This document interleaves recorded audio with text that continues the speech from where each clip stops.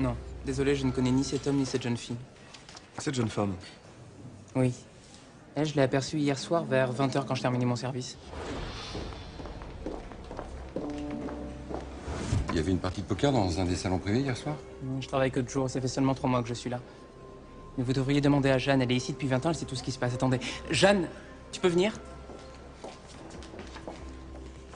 Est-ce que tu la connais? Elle est venue plusieurs fois pour